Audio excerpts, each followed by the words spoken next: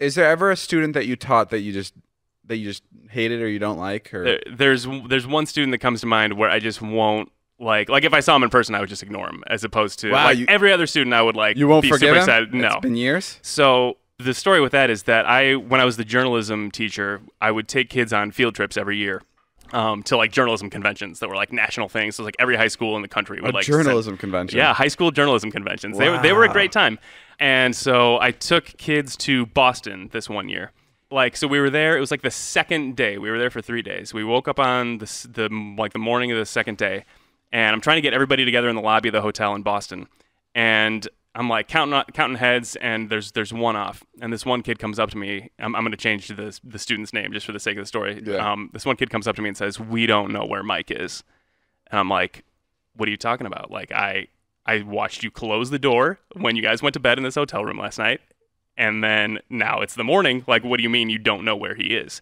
And he's like, "This kid's like, um, well, he left last night. He said he was going to go meet some girls, and he didn't come back." And I start losing my Oh mind God. because it's in the middle of it's, it's in the, like downtown Boston, and Oh my and we went to bed like the last event. And you're we had- responsible for every I'm responsible, exactly. So I'm like, this kid c- could be fucking dead, and so I'm having a panic attack. And not not only that, but one of the chaperones that I brought with me was my boss, um, who was in like in charge of the entire English department. Yeah. And I'm like, my boss is watching me like lose a kid and lose my mind. This kid could be fucking dead in an alley somewhere.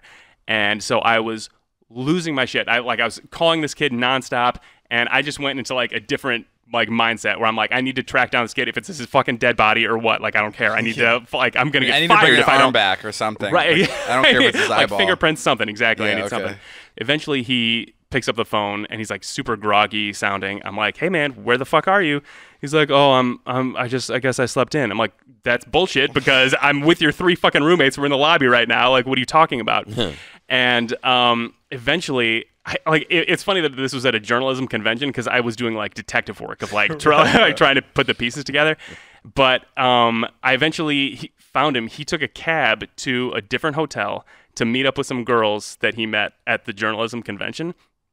And so like I eventually like I take a cab there.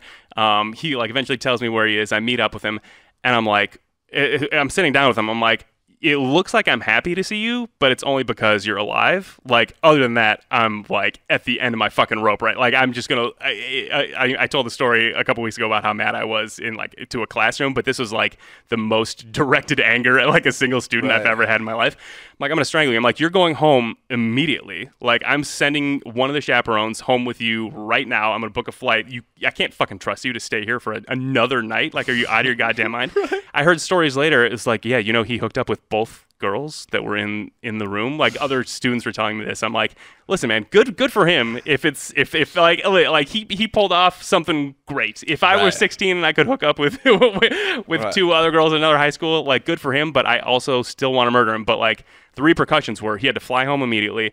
I kicked him out of my class. Um, Wow. Like he could not be a newspaper. I'm like, I'm not gonna fucking deal with this kid. Like, look at him every day, like third period, like, oh, you know, what story ideas do you have today? I'm like, get him the fuck out of my class. I never want to look at him again.